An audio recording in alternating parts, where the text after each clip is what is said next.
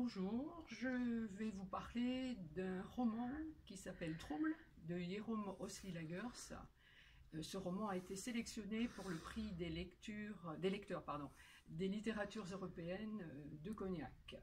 Donc euh, Jérôme Osli-Lager est un écrivain belge de langue néerlandaise, il a 41 ans. Il est aussi, il est non seulement romancier, mais il est également dramaturge et il a écrit jusqu'à présent six romans, et Trouble est le premier roman euh, traduit en français. Alors, avant de vous parler du livre, un petit conseil. Je pense que ce serait intéressant d'aller chercher, euh, soit sur le net, soit dans votre bibliothèque préférée, euh, la reproduction d'un tableau de Bruegel l'Ancien. Ce tableau, c'est Margot la Folle, euh, Doute Criette, Criette, en néerlandais. Ce tableau se trouve à Anvers, il a été récemment restauré et ce tableau plane tout, le temps sur le livre euh, Trouble de euh, Donc euh, il fait vraiment partie, c'est un personnage euh, du roman. Alors venons-en à ce roman. Donc Wilfried Wills a 92 ans et c'est le narrateur de ce roman. Il va donc raconter à un supposé arrière-petit-fils sa jeunesse et sa jeunesse dans la ville d'Anvers à une époque très particulière puisque c'est sous l'occupation allemande. Donc euh, Wilfried a 22 ans lorsque les nazis euh, occupent la ville et il est entré dans la police en tant qu'auxiliaire grâce à l'intervention euh, d'un ami qui s'appelle Barbiche la et cet ami c'est un collaborateur notoire un, antisémite euh, virulent, mais il a des liens avec ce Barbiche Lateigneuse, car Barbiche Lateigneuse lui a enseigné le français dans, euh, dans son adolescence. Donc euh, ce roman est un roman un peu trouble, il porte bien son nom. C'est pas le titre d'ailleurs du roman néerlandais, mais le titre est bien trouvé en français. Et c'est un roman très ambigu et c'est un roman vraiment de la dualité. Donc cette dualité, elle va s'exprimer euh, à différents niveaux. Alors, premier niveau, c'est euh, d'abord un, très vieil homme, 80, il a 92 ans, Wilfried, lorsqu'il commence à écrire ses mémoires. Et donc, on va avoir en permanence une alternance entre ses souvenirs de jeunesse, racontés donc à, ce, à cet arrière-petit-fils, et puis sa vie actuelle, sa vie de vieillard avec tout ce passé très encombrant. Alors, roman de la dualité qui s'exprime aussi à travers un dédoublement de la personnalité. Wilfried, à l'âge de 5 ans, a été très malade. Il est resté de nombreuses semaines dans le coma et à son réveil, il est amnésique. Il ne se souvient plus de rien. Donc il ne reconnaît pas ses parents, il va falloir réapprendre à vivre complètement. Euh, il ne se souvient pas de son prénom et quand on lui dit qu'il s'appelle Wilfried, euh, il ne peut pas accepter ça. Wilfried, c'est pas lui, c'est pas son prénom. Et il y a une voix intérieure qui se développe et qui lui dit non, non, tu n'es pas Wilfried, non, tu t'appelles Angelo. Et il devient Angelo des profondeurs. Et c'est très souvent sous cette appellation qu'on va le retrouver euh, dans le roman.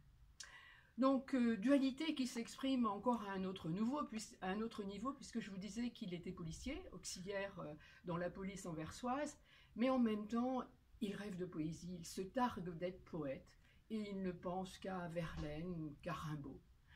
Donc, une très grande ambiguïté, policier et euh, poète. Alors, Wilfried, son problème, c'est qu'il ne choisira jamais son camp. C'est à la fois un collaborateur, il est très efficace, il va participer euh, à toutes les exactions, rafle vis-à-vis euh, de la communauté euh, juive, mais en même temps, il va pouvoir aider de temps en temps son ami Lod, qui lui est un, farouche résistant, et il va l'aider notamment à s'occuper d'un juif que Lod cache, et il viendra le voir, il viendra lui apporter de la nourriture. Donc vraiment un personnage euh, très euh, complexe. Dualité encore et dualité en amour. Euh, Wilfried est très amoureux de la sœur de Lod, qui est très belle femme, Yvette, mais en même temps très attiré aussi par l'ode, par la virilité de son ami. Bon. Et l'ode semble lui aussi un peu attiré par, par Wilfrid. Et enfin, je pense qu'il y a un autre personnage très important dans le roman, c'est la ville d'Anvers. Et dualité aussi qui s'exprime dans cette ville d'Anvers, parce que Anvers est une ville qui a toujours accueilli les les communautés juives, et ce depuis le XIIIe siècle. Et là, on va s'apercevoir qu'un bon nombre d'Anversois vont devenir jaloux euh, des Juifs, parce que beaucoup d'entre eux sont des diamantaires et forcément ils les croient immensément riches. Et ils vont donc participer d'assez près aux arrestations euh, de la police et bien sûr ensuite aider aux déportations euh, des nazis dans les camps d'extermination.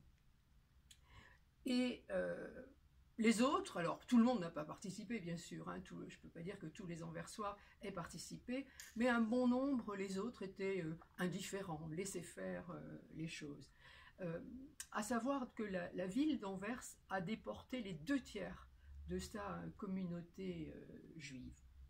Donc ce roman, c'est un, roman vraiment sans, concession. Il est très cru, parfois nauséabond quelquefois, euh, c'est euh, agréable de le poser et puis de le reprendre un petit peu plus tard. Parce que ce, vieil homme-là, il reconnaît ses lâchetés, hein.